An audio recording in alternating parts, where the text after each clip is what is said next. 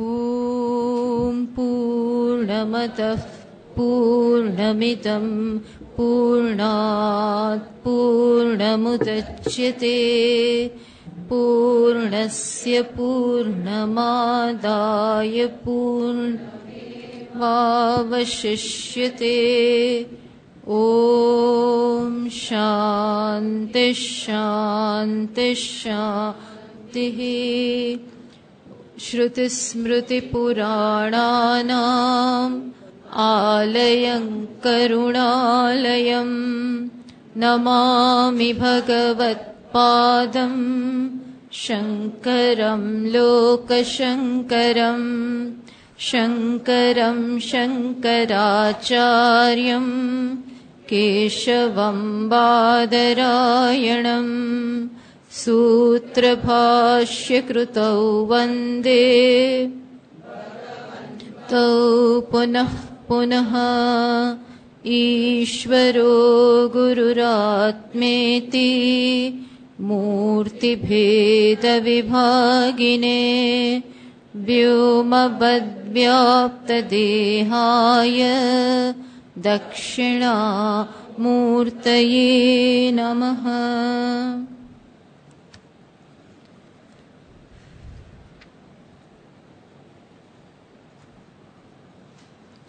हिरण्मयेन पात्रेण।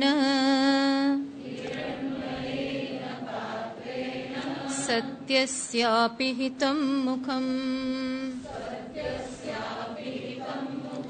तत्त्वं पूषन्न पावृणु। सत्यधर्माय दृष्टये पूषन्नेकर्षे यमसूर्यप्राजापत्य व्यूहरश्मीन्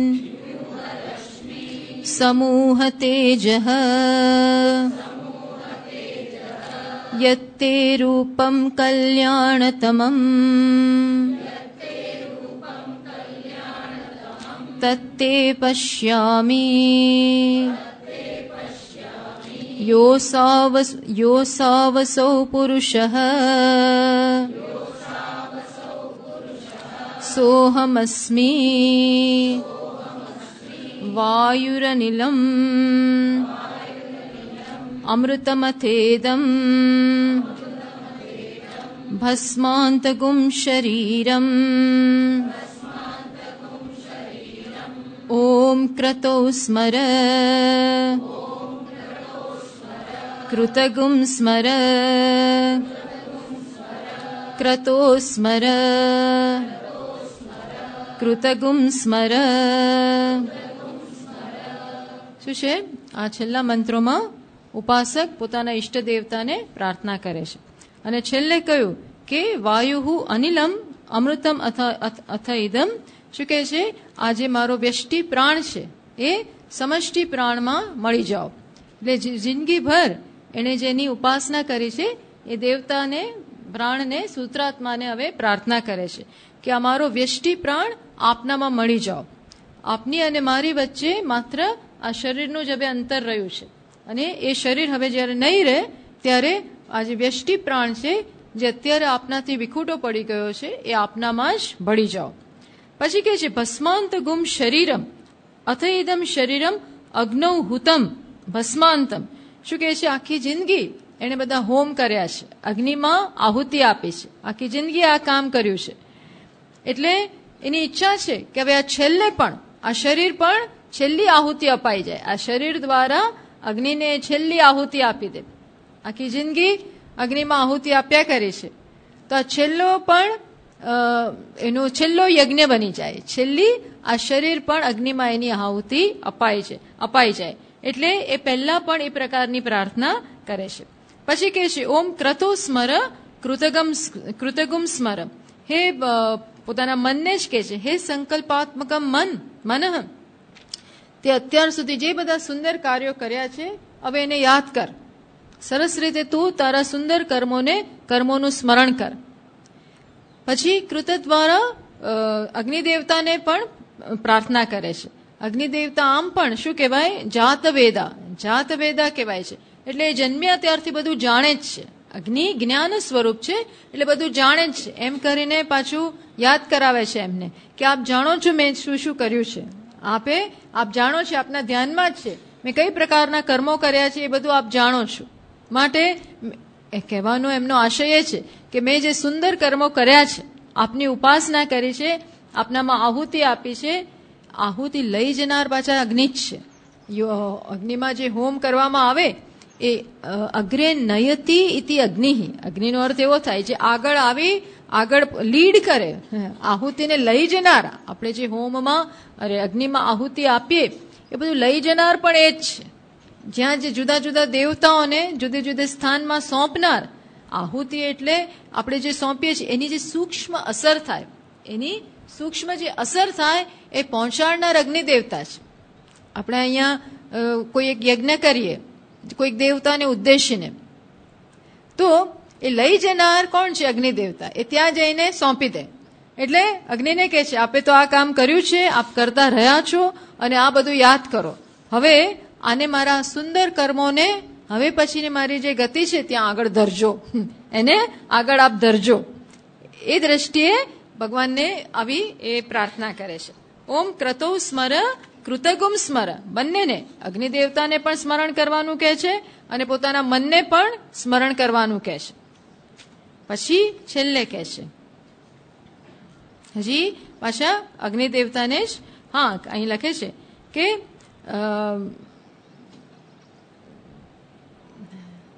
બાલ્ય પ્રભૃતિમ અનુષ્ઠિતમ, બાળપણથી માંડી અને બ્રહ્મચારી હોય ત્યારથી સમિત આધાન વગેરે બધું કર્યું છે. નાનપણથી બધા આવા કર્મો કરેલા છે. બ્રહ્મચર્ય અવસ્થામાં, ગૃહસ્થ અવસ્થામાં બધી જ અવસ્થામાં એણે આ વસ્તુ કરી છે. એટલે એના જીવનમાં આ પ્રકારની ઉપાસના બહુ અગ્રસ્થાને રહેલી છે. એટલા માટે પણ એ બધાને અગ્નિ દેવતાને આ પ્રકારનું સૂચન કરે છે.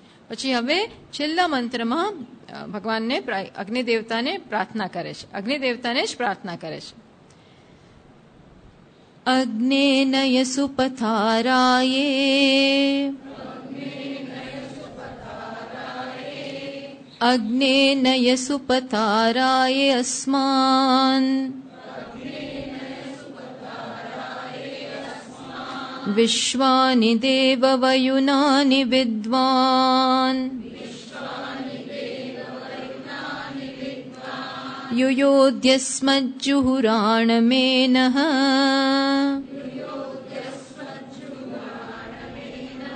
ભૂયિષ્ઠાન્તે નમ ઉક્તિમ વિધેમ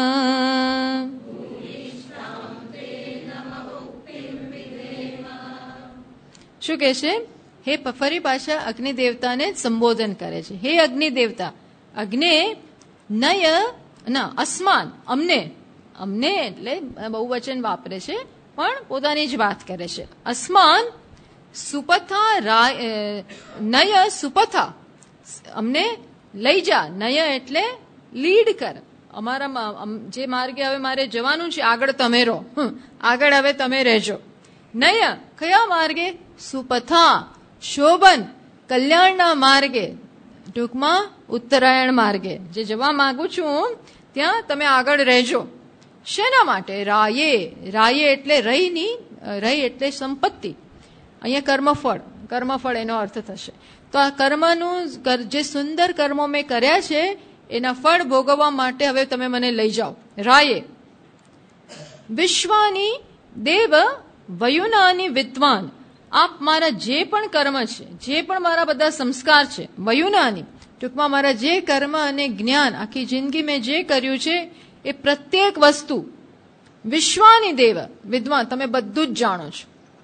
કશું પણ તમારાથી અજાણ રહ્યું નથી. બધું આપ જાણો છો. પ્રત્યેક મારા કર્મ, પ્રત્યેક મારી વૃત્તિઓ, પ્રત્યેક મારા સંકલ્પો, બધા, બધું આપ જાણો છો. તમારાથી કંઈ અજાણ છે જ નહીં. તો તમે આ લઈ પછી પાછલી લાઈન માટે થઈને આ કહે છે. તમે જાણો છો? શું જાણો છો? યુયોધ્યસ્મ જુહુરાણ મેનહ. અમારા યુયોધ્યસ્મ, નાશ કરી નાખો. શેનો નાશ કરી નાખો? એનસ, જુહુરાણમ, જે કુટિલ કર્મો મેં થઈ ગયા. મારાથી જે કુટિલ કર્મો થઈ ગયા છે ભાઈ, એનો આપ નાશ કરી દો. એટલે આપ જાણો છો, થોડું સારું કર્યું છે ઘણું બધું. સાથે અમુક બીજું પણ થઈ ગયું હોય. અજાણતા પણ. એનસ એનસ એટલે દુરિત કર્મો. પાપ કર્મો જે થઈ ગયા છે, એ પણ આપ જાણો છો અને એને આપ નાશ કરી નાખો. યુયોધ્યસ્મ જુહુરાણમ એનસ. છેલ્લે પછી કે છે ભૂઈષ્ટામ ઘણી બધી. તે નમ ઉક્તિમ વિધેમ. હવે હું આપને ઘણી ઘણા બધા ઘણા બધા નમસ્કાર અર્પણ કરું છું. બોલીને. બીજું તો કંઈ કરી શકું એમ નથી હવે, પણ આપને ઘણા બધા નમસ્કાર અર્પણ કરું છું. આમ નમસ્કાર સાથે ઈષ્ટ દેવતાને નમસ્કાર સાથે આ પ્રાર્થનાનો અંત આવે છે. એટલે જુઓ, પુનઃ અન્ય મંત્રેણ માર્ગમ યાચતે. આ બધા દ્વારા માર્ગની યાચના જ છે. શું કરે છે? ઉત્તરાયણ માર્ગ. આપણે ચર્ચા કરીએ એ પ્રમાણે દક્ષિણાયન માર્ગથી તો પાછું આવવાનું છે. એ અહીંયા કહેશે, દક્ષિણાયન માર્ગથી તો હવે હું થાકી ગયો છું. એ મને નથી જોઈતો. હવે મને ઉત્તરાયણ માર્ગેથી જ આપ લઈ જાઓ. ત્યાંથી પાછું આવવાનું નથી. અને કઈ પ્રકારની સમજ છે કે આ માર્ગે હું જઉં, બ્રહ્મલોકમાં પહોંચું અને ત્યાં બ્રહ્માજી, ના લોકમાં જ્યારે કલ્પનો અંત આવે, ત્યાર પહેલા બ્રહ્માજી બધાને જ્ઞાન આપે છે અને પછી મુક્તિ થઈ જાય છે. જે લોકોની જ્ઞાનથી મુક્તિ નથી થતી, અહીં અહીં જેની જ્ઞાનથી મુક્તિ નથી થતી, એની આ પ્રકારે પણ મુક્તિ થાય છે. પણ આપણે ચર્ચા કરી હતી એ પ્રમાણે આ કરવું બહુ મુશ્કેલ છે. આના માટે વ્યવસ્થિત જીવનમાં ઉપાસના એકદમ ઉપાસનાઓ કરી હોય હિરણ્ય ગર્ભની તો જ આ પ્રકારની ગતિ શક્ય બને. પણ આ, આણે આવો પ્રકારનો પ્રયત્ન કરેલો છે. આ ઉપાસકે આ બધું કરેલું છે. એટલે અત્યારે એ પ્રાર્થના કરે છે કે જ્ઞાનથી તો એની મુક્તિ શક્ય જ નથી. એટલે આ પ્રાર્થના કરે છે. આના માટે હું અધિકારી છું. આ માર્ગ માટે અધિકારી છું. તો આપને મને ત્યાં લઈ જાઓ. દક્ષિણાયન માર્ગથી આપ જ મારું મારા માર્ગમાં આગળ રહો. ત્યાં લઈ જાઓ, બ્રહ્મલોકમાં પહોંચાડો અને પછી ત્યાં આપોઆપ જ મારી સમય જતા ક્રમ મુક્તિ થવાની છે. એટલે એ કહે છે. હે અગ્નિ નય ગમય સુપથા શોભનેન માર્ગેણ સુપથા ઇતિ વિશેષણમ દક્ષિણ માર્ગ નિવૃત્ત્યર્થમ. જો અહીં લખે છે, દક્ષિણ માર્ગને બાજુમાં રાખો. આ બે રસ્તા મારી સમક્ષ છે. દક્ષિણ માર્ગથી મને ન લઈ જતા, મને ઉત્તરાયણ માર્ગ જ લેવડાવજો. ટૂંકમાં, પાપ કર્મ તો છે જ. પાપ કર્મ તો થઈ ગયા છે. દુરિત કર્મ તો થઈ ગયા છે, એ પણ જાણે છે. છતાં પણ આવું કહે છે, એવું કેમ ભાઈ? તમારાથી પેલું થઈ ગયું છે, તો હવે ભોગવવું પડશે.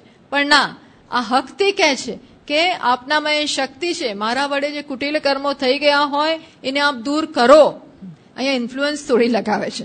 ભગવાન પાસે થોડી આજીજી કરે છે પ્રાર્થનાના હકે અને સંબંધના હકે એક પ્રકારની આ યાચના કરે છે, યાચના કરી રહ્યો છે, આજીજી કરી રહ્યો છે કે આ પાપ કર્મ તરફ આપ દુર્લક્ષ કરજો, એની તરફ આપ નજર જ નહીં કરજો.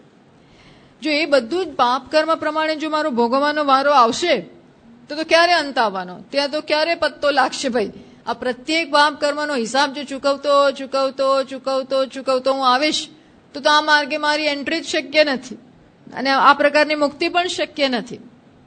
આ શક્ય જ નથી બનવાનું. દરેકે દરેક મારા ખરાબ કર્મનો મારે ફળ ભોગવવું જ પડવાનું હોય, તો તો ક્યાંય, ક્યારે સમય આવશે?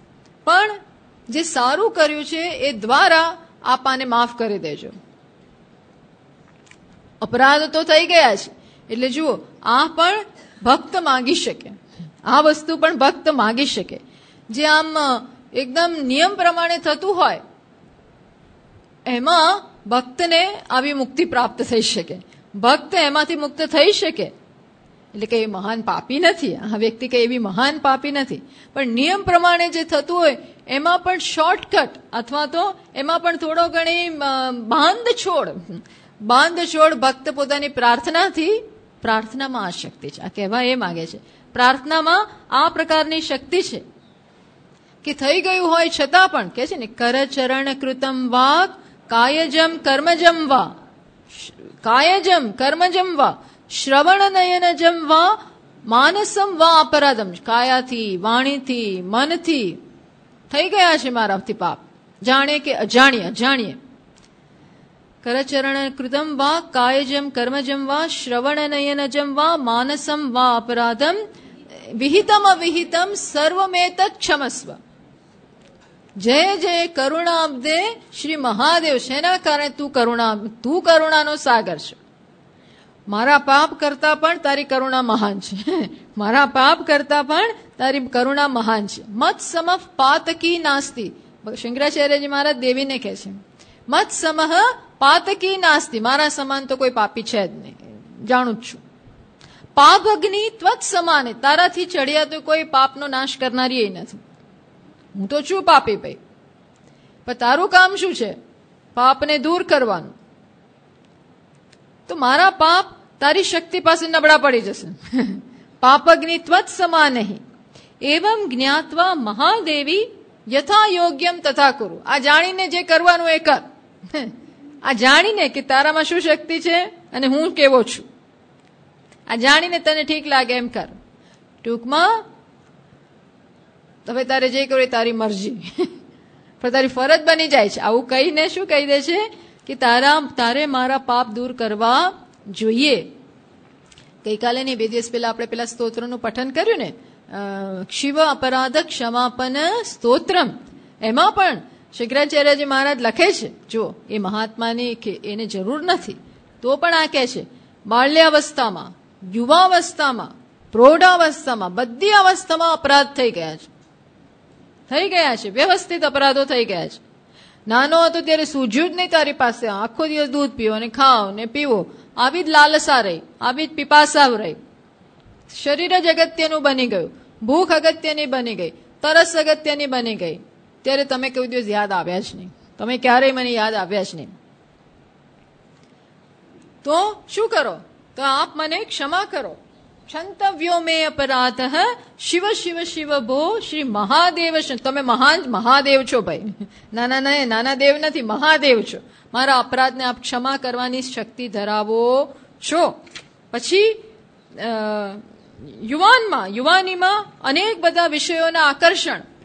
ત્યારે વિષયોનો વિષયો રૂપી સર્પે મને દંશ દીધો? અને એને કારણે પણ આમ ભૂલાઈ ગયા. પછી સ્વાદનું સુખ. આ સુખ તે સમયે માન અને ગર્વથી વ્યાપ્ત થયેલા મારા હૃદયમાં આપના આપના માટે, આપના ચિંતનનું કોઈ સ્થાન જ નહોતું. છતાં પણ આપ ક્ષમા કરો. પછી વૃદ્ધાવસ્થામાં ઇન્દ્રિયો ઇન્દ્રિયો શિથિલ પડી ગઈ છે. બુદ્ધિ મંદ થઈ ગઈ છે. આદિદૈવિક સંતાપો, પાપ કર્મો, રોગ, આ બધી વસ્તુ શરીરને જકડે છે. શરીર એનાથી જર્જરિત થઈ જાય છે. હવે આવું દુર્બળ મનથી, દુર્બળ શરીરથી, દુર્બળ પ્રાણથી આપ ભૂલાઈ જાઓ છો. આપ ભૂલાઈ જાઓ છો. આપણે કહીએ છીએ ને, હવે ખબર છે તો એ થતું નથી. કે બધી હજારો તકલીફો છે. તો શિવજી, તમારું ધ્યાન થતું નથી. તો પણ મારા અપરાધને માફ કરજો. આવા ટૂંકમાં ભક્ત પોતાની બધી તકલીફો જાણે છે. અપરાધો છે અને છતાં પણ પ્રાર્થનામાં આ પ્રકારની શક્તિ છે. એ બતાવે છે કે પ્રાર્થનામાં આ શક્તિ છે અને ભગ હકથી હકથી આ ભગવાન પાસે માગે છે. કારણ કે જો નિયમ પ્રમાણે થશે, તો તો ભગવાનમાં જસ્ટિસમાં ફેરશું. જસ્ટિસ બી બધું જોવે અને એ પ્રમાણે જજમેન્ટ પાસ કરે. તને આ સજા. આ પ્રકારનો તે દોષ લીધો કર્યો છે અને એની આ કલમ આ લાગશે. બસો પચીસ કે પાંત્રીસ જે જે બધી કલમો લાગતી હોય. આ રોગની અરે, આ દોષ પ્રમાણે આ કલમ લાગશે. હું કઈ કરી ના શકું. જસ્ટિસ શું કે? જજ. એ કઈ કરી ના શકે. તો તમે એવા હો તમે આ પેલા જજ જેવા હો કે કઈ કરી ના શકો. તો તમારાને એમાં શું ફેર? તમારાને એમાં ફેર શું? તમે એવા નથી. તમે ધારો તો મારા ગમે તેવા અપરાધને પણ માફ કરી શકો એમ છો. એટલે લાગવગ લગાવે છે. તો એવું કે ભગવાન પાસે લાગવગ લાગે? નમે દ્વેષ્યોસ્તી ન પ્રિયોહમ. સમ સર્વેશુ ભૂતેષુ નમે દ્વેષ્યોસ્તિ ન પ્રિય ये भजन्ति તુ મામ ભક્ત્યા મય તેશુ મય તેષુ તેપી ચાપ્યહમ ભગવાન કહે છે હું બધા પ્રત્યે સમાન છું મને કોઈ મને કોઈના પ્રત્યે રાગ પણ નથી કોઈના પ્રત્યે દ્વેષ પણ નથી છતાં પણ ભગવાનનો આવો સમાન સ્વભાવ સમાન છે સમહ સર્વેશુ ભૂતેશુ છતાં પણ ભક્તિ એમનામાં વિષમતા લાવી દે છે. ભક્તિ સમ ભગવાનમાં શું લઈ આવે છે? વિષમતા. જે મને પ્રેમથી ભજે છે, નિષ્કામ ભાવે ભજે છે, મારી પાસે શરણાગત થઈને આવે છે. કોઈ રસ્તો જોતો નથી. ભગવાનની મહત્તા સમજે છે, પોતાની અલ્પતા સમજે છે. પોતાની અલ્પતા સમજે છે, આવું કહેવા ખાતર નહીં, અંદરનો પશ્ચાતાપ. માત્ર કહેવા ખાતર નથી. અંદરનો પશ્ચાતાપ છે. અને ખરેખર લાગે છે કે ના ભૂલ થઈ ગઈ. એટલા માટે આપણે ત્યાં પ્રાયશ્ચિત કર્મનું વિધાન છે ભાઈ. પ્રાયશ્ચિત કર્મ છે એના માટે. પ્રાયશ્ચિત પાપ ધોવાઈ જાય છે. કહેવા ખાતર કે કરવા ખાતર કરતા હોય તો નહીં. પણ અપરાધની ત્યાં ક્ષમા રહેલી છે. માટે તમે આને દૂર કરો. આવું મારાથી થઈ ગયું છે. આને દૂર કરો. એટલે ભક્ત આ પ્રાર્થનાથી અને પાર કરી જાય છે. આ પ્રકારની શક્તિ એની પ્રાર્થનામાં રહેલી છે. નહીં તો આનો શું મિનિંગ કર્યું છે, હવે ભોગવ. તો ના, આનો પણ અર્થ છે. સર્વ ભગવાન પોતે આને સમર્થન આપે છે. ભક્તિથી વિષમતા ભક્તિ સમાન ભગવાનમાં વિષમતા ઊભી કરે છે. સર્વ ધર્માન પરિત્યજ્ય મામેકમ શરણમ વ્રજ. મારી શરણમાં આવી જા. અહમ ત્વા સર્વ પાપેભ્ય. આ સર્વમાં ભગવાન કોઈ સંકોચ નથી રાખતા. અહમ ત્વા સર્વ પાપેભ્ય મોક્ષયિષ્યામે બધામાંથી હું તને મુક્ત કરીશ. મુક્ત થઈશ બધામાંથી. મા શુચ. શોક ના કરીશ. અર્જુનને કેટલી વાર કહે છે, તારે શોકની જરૂર જ નથી. તું શોક ના કર. હું મુક્ત કરીશ. પણ ભગવાનને એ પ્રકારની શરણાગત, એ પ્રકારનો વિશ્વાસ, એ પ્રકારની યાચના, એ પ્રકારનો પાછો નિશ્ચય કે ભાઈ હવે આવું નહીં થાય. હવે આવું નહીં થાય. ટૂંકમાં સત્કર્મ. સાચા માર્ગે જવાનું વ્યવસાય, નિર્ણય. સમ્યક વ્યવસ્થિતો સહ સાધુરેવ સમંતવ્ય. ભગવાન કે છે, જે જે દિવસે એનામાં પરિવર્તન આવ્યું સમ્યક નિશ્ચય થઈ ગયો. એ દિવસથી એને સાધુ જ સમજો. એ દિવસથી સાધુ સમજો. એ ક્ષણથી, ભગવાન કે છે. સાધુ પાપ કરવામાં ચેમ્પિયન હોય. કદાચ એવો હોય, તો પણ ક્ષિપ્રમ ભવતી ધર્માત્મા. શશ્વત શાંતિમ નિગચ્છતિ. કૌંતેય પ્રતિજાની નમે ભક્ત પ્રણશ્ય કૌંતે, તું પ્રતિજ્ઞા કર, હું કરીશ, ને તો કદાચ કોઈ માને કે ના માને. ભગવાનનું એવું પ્રતિષ્ઠા રહીતી. ફરી જાય. ભક્તો માટે થઈને બધું ફરી જાય. પોતાની આબરૂ વેચી નાખે. એવા હતા. એટલે તું કર પ્રતિજ્ઞા કે મારો ભક્ત ક્યારે એનો નાશ થતો નથી. તું કર, આવું જાહેર કર. ક્ષિપ્રમ ભવતી ધર્માત્મા. એક વખત નિર્ણય થઈ ગયો, એ એક ક્ષિપ્રમ બહુ ક્વિકલી જટીતી તરત જ એ ધર્માત્મા બની જાય છે. સાધુ રેવ સમંતવ્ય. એ ક્ષણથી એ સાધુ છે. વાલ્ય, વાલ્યમાં, વાલ્યા જેવો કોઈક હોય. લૂંટારો. પણ રામ નામે એને વાલ્મીકી બનાવી દીધો. કેવા કેવા પાપ હતા. લૂંટાય લૂંટફાટ. ના આપે તો મારી નાખ્યા. આને કોઈ શરમ ના હોય. ના આપે તો ચલાવી દે તલવાર. આવા હોય. એટલે એને શું નહીં કર્યું હોય? એટલે પેલા કે ભાઈ, હવે આમાં બીજા છે મારી સાથે, બધા છો ને? તો કે, અમે કોઈ નહીં. તમે જાતે ભોગવો જે કર્યું છે. તમારું અમારું ભરણ પોષણ કરવાનું કામ તમારું છે. કેવી રીતે લાવો છો એની સાથે અમારો કોઈ સંબંધ નથી. એટલે બસ ત્યારથી નારદજીએ કહ્યું એ પ્રમાણે એમનામાં પરિવર્તન આવી ગયું. રામ રામ ઊંધું રામ રામ, રામે સીધું નહીં, મરા મરા મરા મરા, બેસી ગયા. પણ ટૂંકમાં શરણાગત. એ જાણતા નહોતા રામ કોણ અને એનો અર્થ શું થાય છે કશી ખબર નહોતી પણ ટૂંકમાં કે અહીંયા તો પ્રાર્થનાની શક્તિ ઉપનિષદ જાહેર કરે છે કે પ્રાર્થનામાં કઈ પ્રકારની શક્તિ છે? ઊંડા હૃદયમાંથી જ્યારે પ્રાર્થના કરવામાં આવે, પશ્ચાતાપનો નિર્ણય થાય, વ્યવસાય થઈ જાય. વ્યવસાય વ્યવસાય એટલે નિર્ણય. નિર્ણય થઈ જાય. સાચો નિર્ણય. કહેવાનો નહીં નોટ સો કોલ્ડ પણ સાચો નિર્ણય થઈ જાય. તો પછી એ સાચા માર્ગ ઉપર જ છે અને એનું કલ્યાણ. નહીં કલ્યાણકૃત કશ્ચિત દુર્ગતિમ તાતક જ. એનો એની દુર્ગા, દુર્ગતિ નથી થતી. ક્યારેય પણ એની દુર્ગતિ થતી નથી. એટલા માટે આ બધું આ માણસ, આ ભક્ત બધું જાણે છે. આ બધું જ જાણે છે. ભગવાનની શક્તિ ને પોતાનાથી જે થોડું ઘણું થઈ ગયું છે, આ બધું જાણે છે. છતાં પણ બહુ પ્રેમથી, હકથી પ્રાર્થના કરે છે કે આપ આ માર્ગ ખોલો. ઉત્તરાયણ માર્ગ આપ મારા માટે ઓપન કરો, ખુલ્લો કરો. જેથી કરીને એવું નથી કે આપ નથી જાણતા હું શું શું કરીને આવ્યો છું. છતાં પણ આપ એ માર્ગ મારા માટે મારા માટે ખુલ્લો કરો. પછી કહે છે આગળ તો કે ભાઈ, તમને શેના માટે ઉત્તરાયણ જ જોઈએ છે? દક્ષિણાયન માર્ગ કેમ નથી જોઈતો? નિર્વિણોહમ દક્ષિણેના માર્ગેણ. આ નિર્વ, દક્ષિણ માર્ગથી હું નાસીપાસ થઈ ગયો છું. દક્ષિણ માર્ગથી હું થાકી ગયો છું. નિર્વિણોહમ એટલે હું થાકી ગયો છું. કેમ? ભાઈ એમાં શું થાક લાગે એવું શું છે? ગતાગત લક્ષણે એ કેવો છે? ગતાગત લક્ષણ. ગતા એટલે ત્યાં જઈએ ને પાછા આવીએ. જઈએ ને પાછા આવીએ.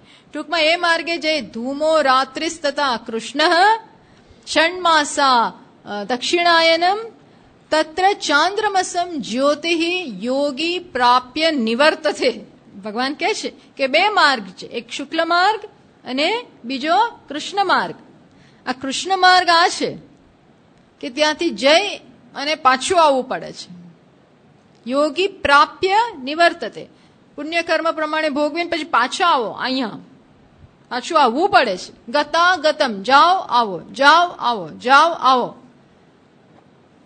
જઈને પાછા આવ્યા કરો. હું થાકી ગયો હવે. એ બહુ કર્યું. એ બહુ કર્યું. હવે મને એ નથી જોઈતું. હવે તો જઉં પછી પાછો ના આવું. એક વખત જઉં એ માર્ગે, હવે પાછું નથી આવવું. શું કે છે? એની આગળ, હા. એના આગલો જ મંત્ર. આઠમો. શુક્લ કૃષ્ણ ગતિ, પણ એને આઠમો. એના પહેલાનો મંત્ર કયો?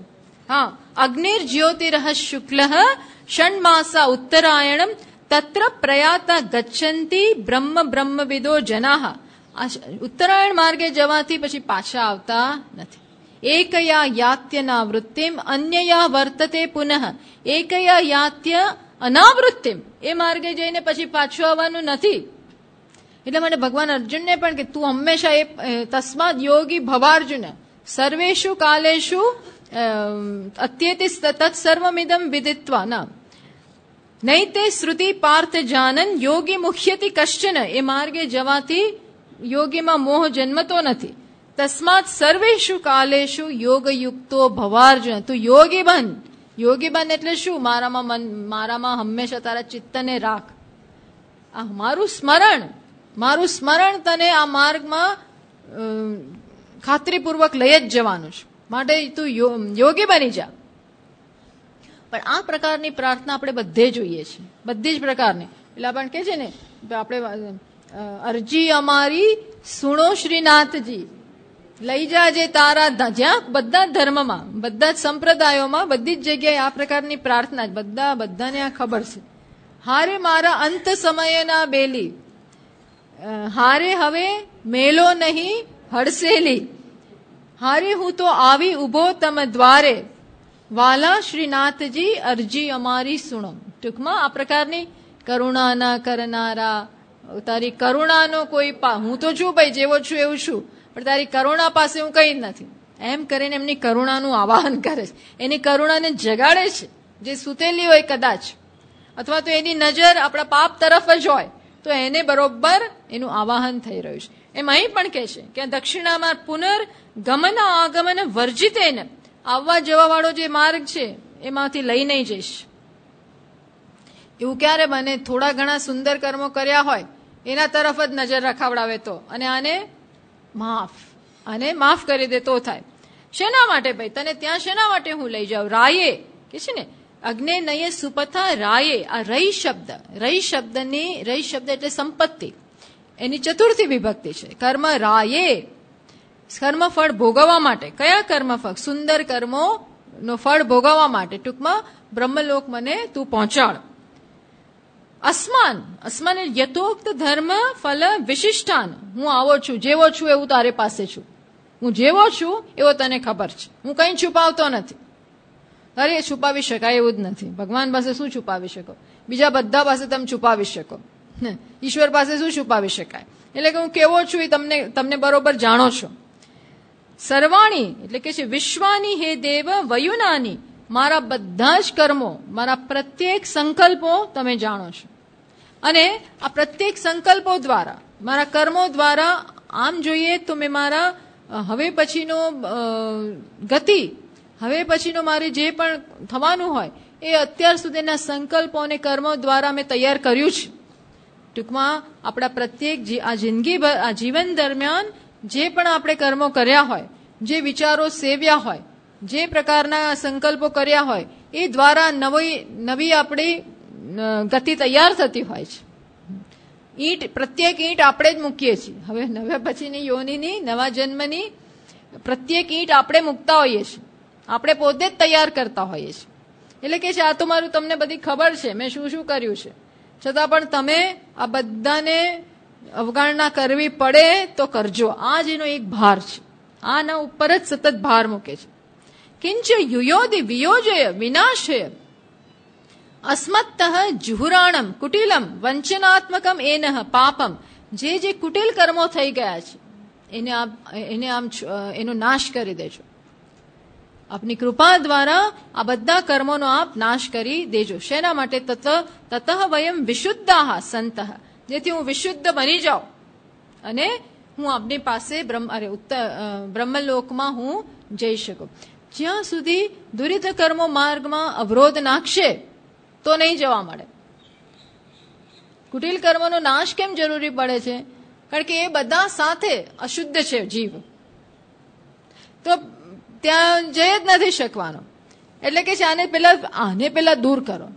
આનો આપ નાશ કરશો તો જ તમે મને લઈ જઈ શકશો. એટલે પહેલી અગત્યતા, પહેલી અગ્રીમતા એને જ આપવી પડે કે આ પાપ કર્મનો આપ આપ એને નાશ કરી દો.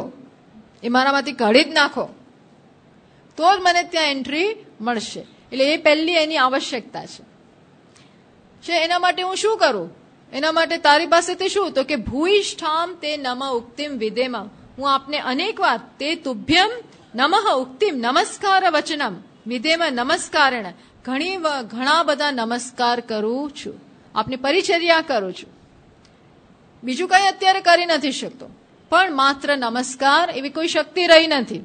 બોલવાની શક્તિ નથી. અત્યારે તો આ સમયે એને પાસે બોલવાની શક્તિ નથી. પણ મનથી મનોમન અથવા બોલતા પણ હશે. મનોમન, નમસ્કાર, ભગવાનને અર્પણ કરે છે. કે આને જ મારી પ્રાર્થના સમજજો, આને જ મારી મારી સેવા સમજજો. નમસ્કાર, ન મમ. મારું હવે કંઈ છે નહીં. આ અહંકાર એ સાચો નથી. અહંકાર એ તો અજ્ઞાનની પેદાશ છે. અજ્ઞાનમાંથી જન્મેલો મિથ્યા ખ્યાલ છે. આ તમારી અને મારી વચ્ચે અત્યારે ઊભો છે. મારું નમઃ, આપણે કહીએ છીએ ને, ગોવિંદાય નમઃ, શિવાય નમઃ. દેવી નમઃ. નમસ્કાર શેનું સૂચન કરે છે? આપણી એ પ્રકારની સમજ કે ના, કશું મારું નથી. કૃષ્ણ સાચા છે, હું સાચો નથી. કૃષ્ણાય નમઃ. નમસ્કાર શું બતાવે છે? મિથ્યાનો ત્યાગ સત્યને આગળ મૂકીએ છીએ. અહંકારનો ત્યાગ, ન મહ, ન મમ, આ મારું નથી. અહંકાર મિથ્યા વસ્તુ છે. સત્યને આપણે સ્થાપિત કરીએ છીએ. એટલે નમસ્કારમાં જ શરણાગતિ રહેલી છે. નમસ્કાર સમજીએ આનો અર્થ તો તો છે જ. પણ ન સમજીએ તો પણ એ નમસ્કાર અથવા ભગવાનના નામમાં જ આ પ્રકારની આપણી અશુદ્ધિને દૂર કરવાની ક્ષમતા રહેલી છે. એટલા માટે અનેક વાર નમસ્કાર કરી રહ્યા છે. જેમ ભગવાન, અરે, જેમ અર્જુન પણ અર્જુન પણ ભગવાનને કહે છે ને, જ્યારે વિશ્વરૂપ જોયું, અગિયારમા અધ્યાયમાં વિશ્વરૂપ જુએ છે, તો ખ્યાલ આવ્યો કે આ હસ્તી કોણ છે ભાઈ? આ કોણ હસ્તી છે મારી સમક્ષ? આ તો સચરાચરના સ્વામી છે, આ તો પરમ સત્ય છે. જેને હું આખો દિવસ કૃષ્ણ અને ગોવિંદ ને આ બધા જુદા જુદા નામથી બોલાવું છું. આ છે આ. મેં તો એને, હે કૃષ્ણ, હે યાદવ, હે સખેતી. વધારે પડતી છૂટ લઈ લીધી એમની સાથે બધી. મિત્ર સમજીને બધી બહુ છૂટ લીધી. હવે એને ખબર પડી કે આ કોની સાથે લીધી ભાઈ? આ કોની સાથે છૂટ લીધી? આ તો કોણ મહાન હસ્તી છે? અને પછી બહુ જ બહુ જ એને પશ્ચાતાપ થાય છે. પશ્ચાતાપ નહીં, પણ એને પોતાની એક શરમ શરમ અનુભવે છે કે મેં આ શું કર્યું? અને ભગવાન પાસે પોતાનાથી થઈ ગયેલો અપરાધ એની ક્ષમા માંગે છે. ક્ષમા માંગી કે કે છે, જેવી રીતે એક પ્રિય પોતાના પ્રિયને માફ કરી દે, અથવા પિતા પુત્રને માફ કરી દે, એ પ્રક- એ પ્રકારે હું તમને યાચના કરું છું કે મને, મેં ગમે તેમ તમને બોલાવ્યા, ગમે તે બધું સખા ભાવે બધું કર્યું, માફ કરી દેજો. પછી સમજ નથી પડતી શું કરવું. એટલે શું કે છે? તમને આગળથી નમસ્કાર. નમઃ પુરસ્તાદ અથવા પૃષ્ઠતસ્તે પાછળથી નમસ્કાર. ચારે બાજુથી નમસ્કાર. નમસ્તે નમસ્તેસ્તુ સહસ્ર કૃત્વ હજી સંતોષ નથી થતો. એટલે કે હજાર વાર નમસ્કાર, કરોડ વાર નમસ્કાર નમસ્કાર નમસ્કાર. નમઃ. શરણાગતિની આ શ્રેષ્ઠ રીત છે.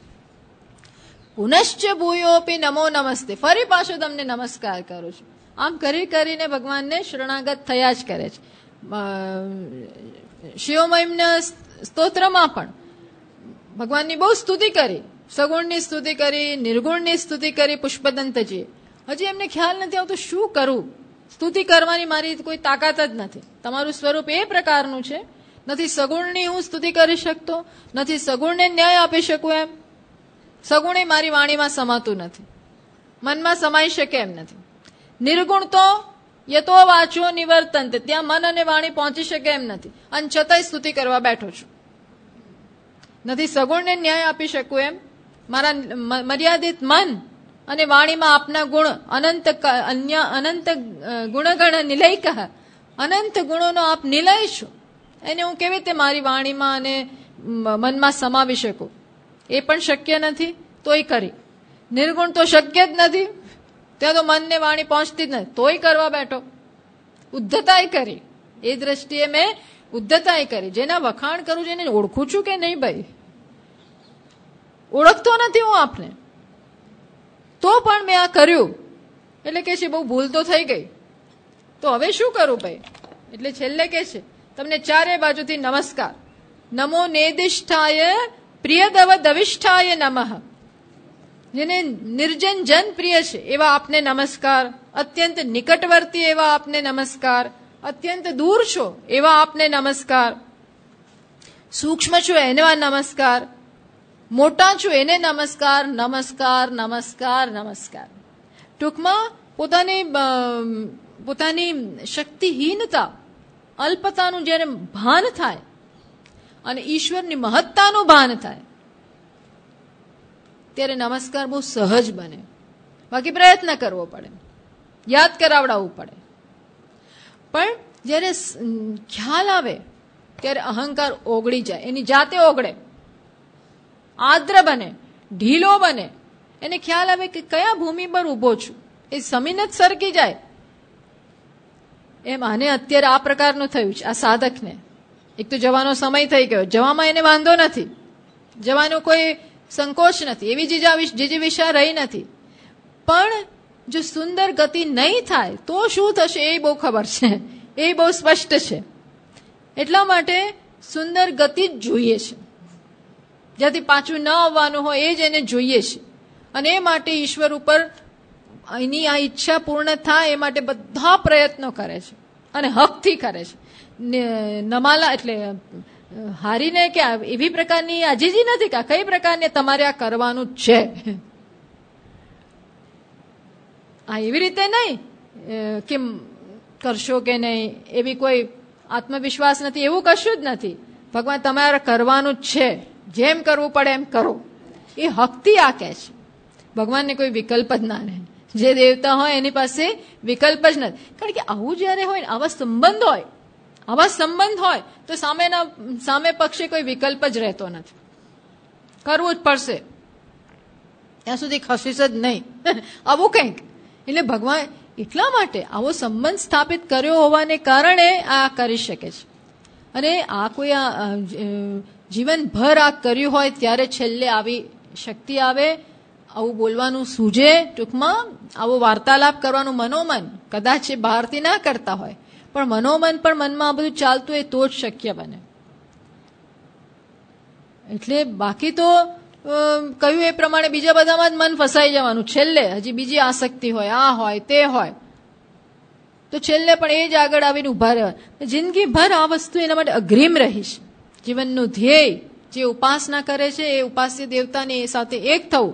આ પ્રકારનું ધ્યેય રહ્યું હોવાને કારણે એ જ વસ્તુ અગત્યની બની છે. એટલે આ છેલ્લે શરીર નથી ચાલતું. વાણીએ બંધ થવા આવી છે. પ્રાણે નબળા પડ્યા છે કારણ કે જવા માંગે છે ને? સામાન્ય સંજોગોમાં તો આપણે સવારે કહ્યું એ પ્રમાણે, મહાન સંઘર્ષ હોય છે. પ્રાણને જવું છે અને જીજી વિશા એને જવા ના દે એટલે મહાન સંઘર્ષ ત્યાં ચાલતો હોય છે. ત્યાં ઈશ્વર ક્યાં યાદ આવે? મુશ્કેલ છે. આના માટે નથી, હા? આના માટે નથી, કારણ કે એ તો બહુ સવ- સાવધાનીથી જીવ્યો છે. બહુ જ જીવનમાં, જીવનના ધ્યેય પ્રત્યે એનું આ ધ્યેય છે. એના પ્રત્યે હંમેશા સભાન સભાનતા પૂર્વકનું જીવન જીવેલો હોવાને કારણે આ બધું શક્ય બન્યું છે. એટલે આ પ્રાર્થના કરી શકે છે.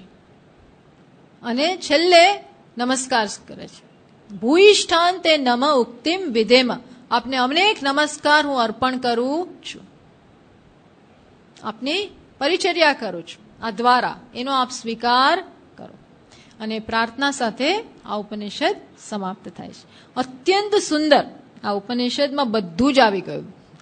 આપણા જીવનને જીવવા માટે, સાર્થક કરવા માટે, સફળ બનાવવા માટે જે જોઈએ જોયું ને, અઢાર આપણે જોયું, અઢાર જ મંત્રમાં. બહુ સંક્ષેપમાં, મંત્રોપનિષદ હોવાને કારણે બહુ સંક્ષિપ્ત છે.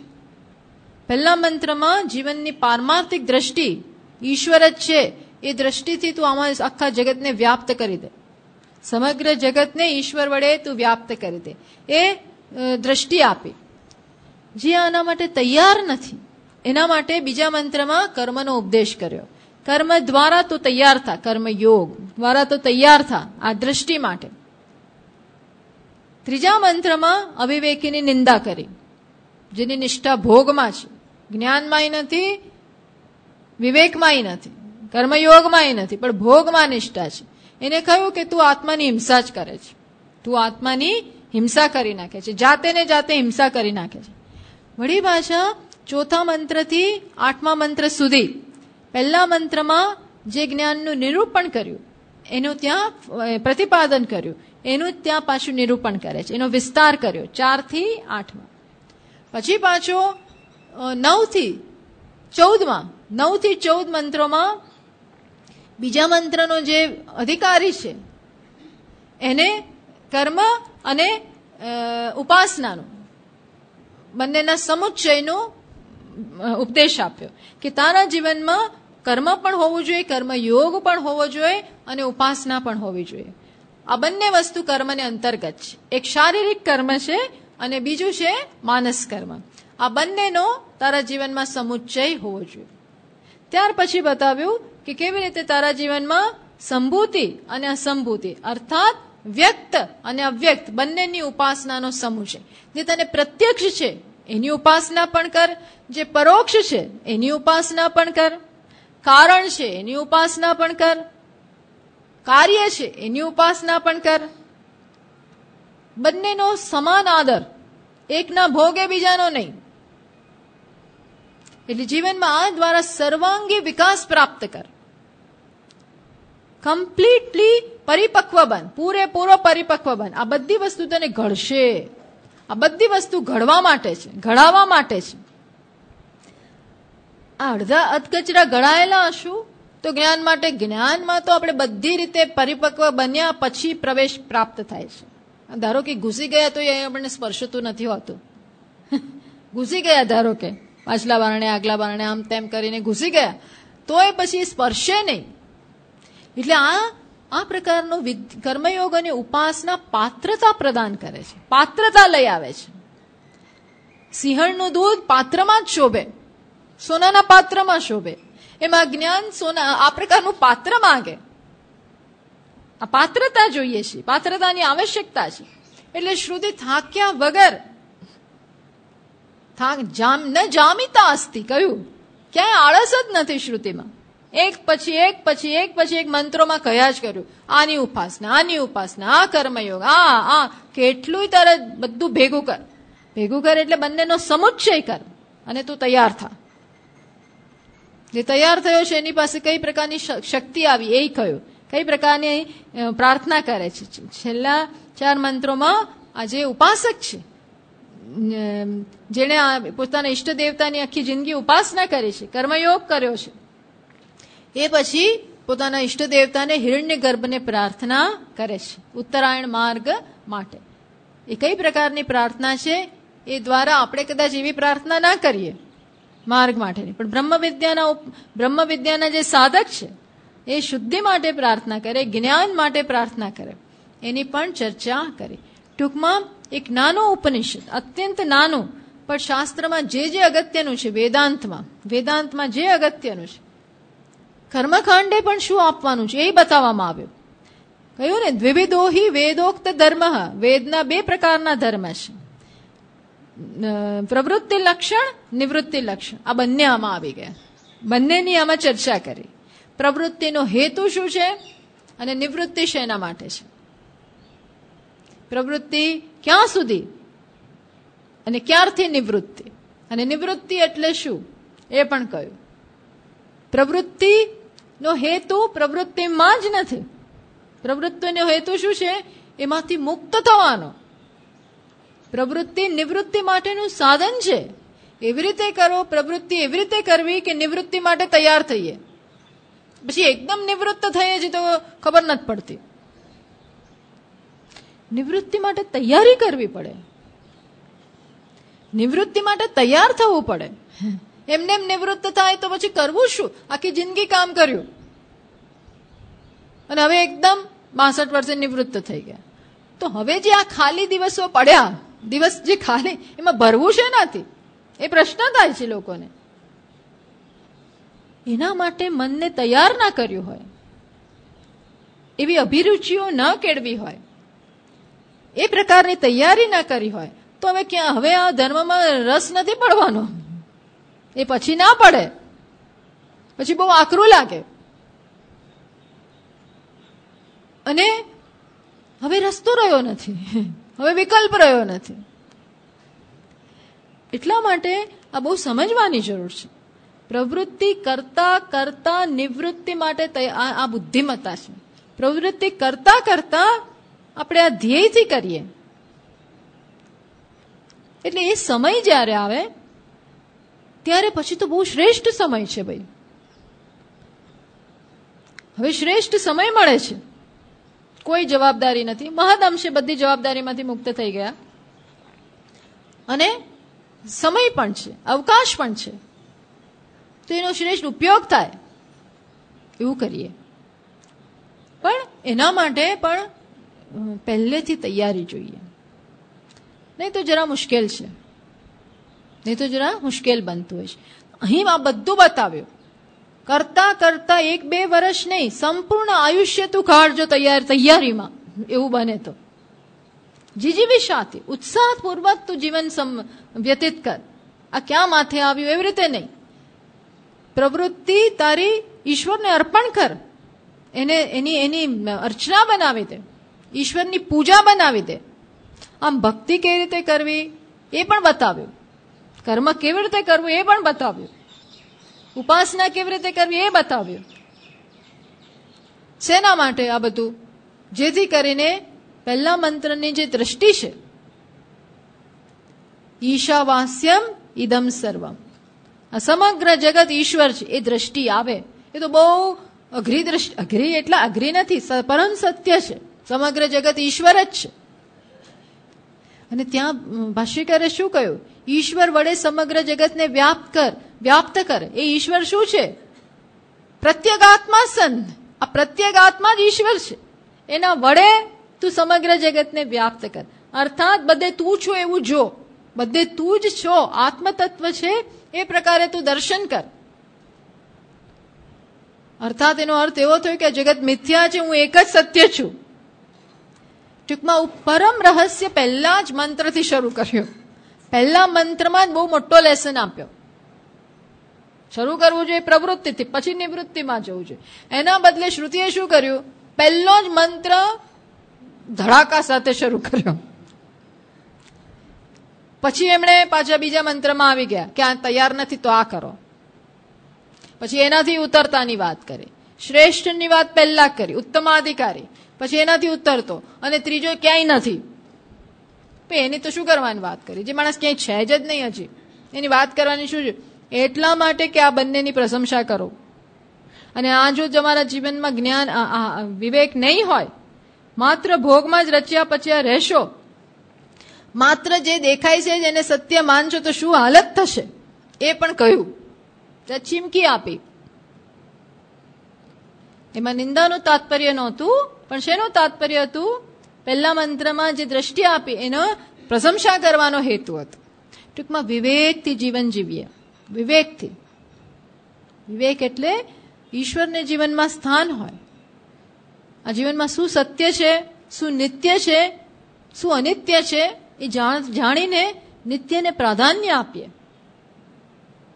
ક્ષણે ક્ષણે પસંદગી કરવાની છે, તો યોગ્ય પસંદગી કરીએ.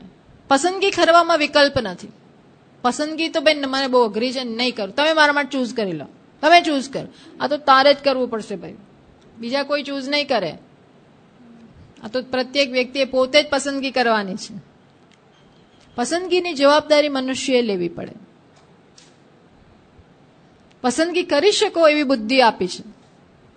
તો પસંદગીની જવાબદારી વ્યક્તિએ પોતે નિભાવવી પડે. એટલે જ કહે છે ને ઇન્ટેલિજન્ટ લિવિંગ જીવનને કેવી રીતે જીવવું જોઈએ? Is intelligent living is making right choices બુદ્ધિપૂર્વકનું જીવન એ કોને કહેવાય? તો કે યોગ્ય જીવનમાં પસંદગી કરી હોય એને. યોગ્ય પસંદગી કરી છે, એને જ સાચું જીવન કહેવાય. તો આના માટે કેવી રીતે કરું? બુદ્ધિ આપીશ. પણ બુદ્ધિ મારી તૈયાર નથી તો તૈયાર કર. માર્ગ તૈયાર કેવી રીતે કરે? એનો માર્ગ બતાવ્યો. માર્ગ આપ્યો. એમ નથી કે કર છૂટા મૂકી દીધા આપણને. કેવી રીતે તૈયાર થવું? એનો માર્ગ બતાવ્યો. એટલે કમ્પ્લીટ લાઈફ કેવી રીતે જીવવી જોઈએ, સંપૂર્ણ જીવન કેવી રીતે વિતાવવું જોઈએ, એ પણ એની ઉજ્જવળ, એકદમ સુંદર તક છે અને એની પૂરી સામગ્રી પણ આપણને આપી. એ રીતે બહુ નાનું છતાં બહુ જ સુંદર ઉપનિષદ છે. બધી જ રીતે પર્યાપ્ત છે. માત્ર આ એક ઉપનિષદને આપણે બહુ બધું ના ભણીએ ધારો કે. આવું એકાદું બરોબર સમજીએ, પર્યાપ્ત છે. એટલે શક્ય એટલો આપણે આને ન્યાય આપવાનો પ્રયત્ન કર્યો. શક્ય હોય એટલો. બહુ સુંદર રીતે આ બધું આપણે બધા સાથે હતા અને સ્વાધ્યાય કર્યો અને ગુરુજીનું સ્થાન છે. એટલે એમની કૃપા પણ આપણી સાથે છે જ અને રહી. એ પ્રકારે આપણે અને સુંદર રીતે સ્વાધ્યાય કરવાનો પ્રયત્ન કર્યો. હરિઓમ ઓમ. પૂર્ણમત પૂર્ણમિતમ પૂર્ણાત પૂર્ણમુદચ્યતે. પૂર્ણસ્ય પૂર્ણ पूर्णमेवावशिष्यते। ॐ शान्तशान्तशान्तिः।